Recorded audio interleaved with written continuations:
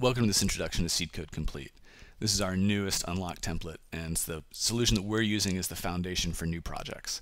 Uh, it's a framework that's designed for you to build out from, whereas our Pro Calendar is more for folks that want to add a calendar to something they already have.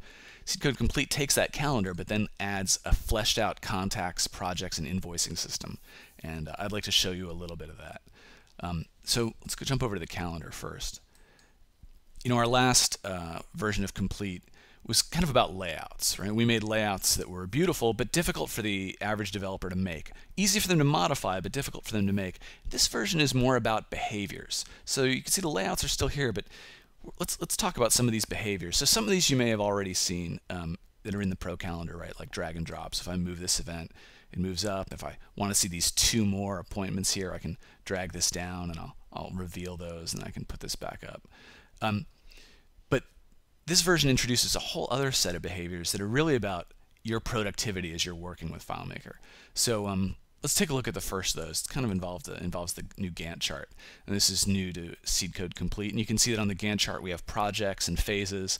And I can open and close you know, individual aspects of this and, and move the, the Gantt chart around. But we've also taken a look at like what do you really need to do when you're on the on the Gantt chart and what you need to do is kind of work with your active projects.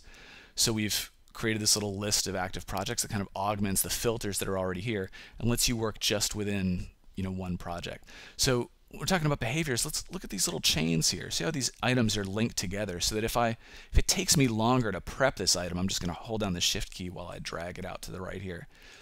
That's going to cause our delivery date to move. So I'll probably need to unchain this, move the delivery date back, and arrange to get this work done more quickly. That's the kind of behavior we're talking about when we change one thing, other things in the database change. But how did these milestones get here in the first place? Well, let's take look at that. Let's take a look at a project a little earlier in its life. Let's look at um, the Blaine's here. So we're just going to call Doug about the offsets. I'm going to hold down the Shift key and jump over to this project and um, move over to the Schedule tab. You can see here, this is the only item that we have here. So let's pretend this is done. I'm just going to hold down the Shift key and mark this done. And now I've talked to Doug and he's decided to uh, give us a 50% down payment so we can get started. So let's see what happens when we do that. I'm going to say paid 50% down. The software says, hey, would you like to add the milestones that reflect this new status? And I'll say, sure. And you can see that we've set this up. This is user configurable. That when something happens, we're going to cascade some new events onto the calendar. We're going to say, yeah, we paid this, mark that done.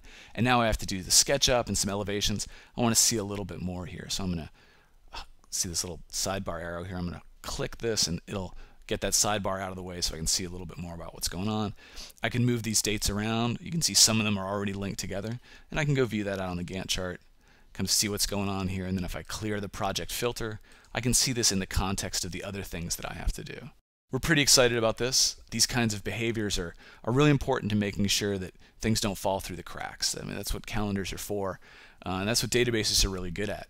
Um, let's jump back to that project and show you something else. Let's go back to Blaine's again. I'm going to hold down the Shift key. Let's click on Recent and refresh. And you can see that when I did that, when I changed that status, I've notified my team. We have a little audit log here, and we're looping through the audit log to record new events and new things that are happening. And I also send an email notification. So we have scripts that are prepared to do that for you, and you can turn them on. They run both server side and client side. So if you're not using FileMaker Server, you can still do that.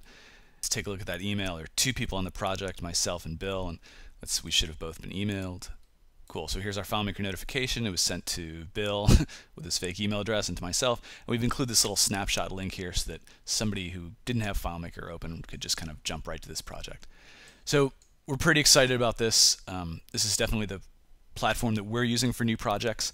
We're excited about how easy it is to modify, how easy it is to take the email notifications that are in there and add them to new actions and new attributes, and how easy it is to configure these behaviors that happen when a, a contact status changes or a project status changes. Thanks for checking this out. Uh, please download the demo and dive in.